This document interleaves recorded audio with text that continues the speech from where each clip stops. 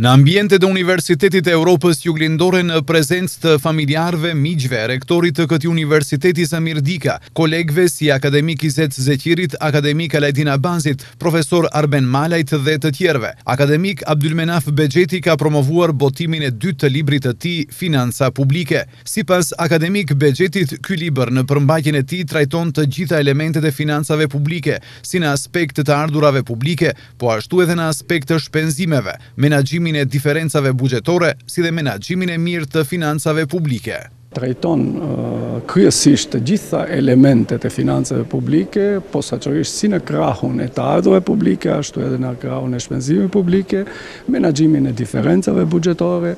dhe menaxhimin e mirë të financave publike, nga dizajnimi i politikave fiskale deri në praktikimin e plotë të tyre. Në fakt është edhe një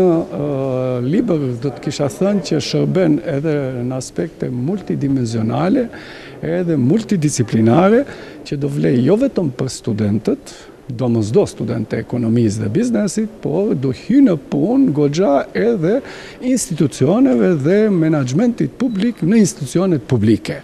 për shkak se aty trajtohen jo vetëm aspektet fundamentale teorike, por trajtohen edhe praktikat e mirëmenaxhimit me financa publike dhe do të kisha thënë kjo është ajo kontributi më i madh i këtij teksti, që të mos mbetet vetëm tekst pastër teorik universitar, por i gërshëtuar edhe me praktika.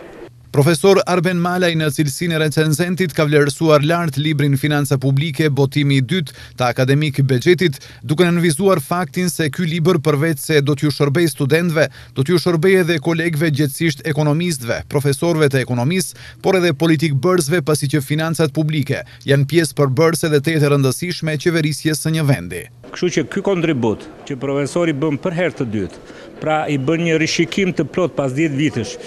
librit të tij, unë besoj se meriton mirënjohjen e kolegëve në Universitetin e Evropës Juglindore,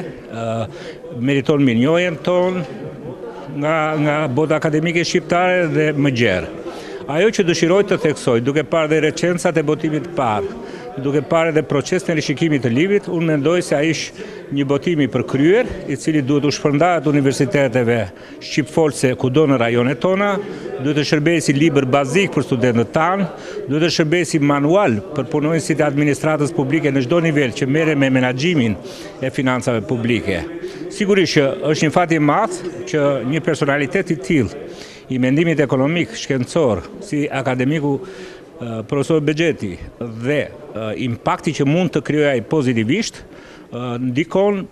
në sfidat tona, të cilat nuk janë të lehta, as sfidat e ekonomisë maqedonëse, as sfidat e ekonomisë shqiptare dhe sidomos lidhur me menaxhimin e financave publike. Është shumë e rëndësishme, është shumë e rëndësishme që qeverisja e vendit të kalojë ndërmjet mendimit shkencor dhe deri në atë akademik, sepse pasojat e keqqeverisjes janë kosto të rënda për taksapaguesit. Sa herë që vendet kanë dështuar në menaxhimin e financave publike, Ata kanë pas një kosto të rëndë, pasi në të gjitha studimet e krizave financiare në botë, kur ndodh një krizë, për të kthyer normalitetin, atëherë duhet të shkurtosh shpenzimet. Dhe kur shkurtohen shpenzimet, të parët që e pësojnë janë pikërisht ata që kanë më shumë nevojë. Libri Financat publike, botimi i dytë i akademik Abdylmenaf Bexhetit, përveç se do të plotësojë një hapësirë boshe në literaturën e ekonomisë dhe financave, gjithashtu do të jetë në shërbim të studentëve, ekonomistëve, studiuesve si një pikënisje, një referencë në studimet e tyre në fushën e ekonomisë dhe financave. Përndryshe, autori i librit, akademik Abdylmenaf Bexheti, është anëtar i Akademisë së Shkencave dhe Arteve të Republikës së Maqedonisë.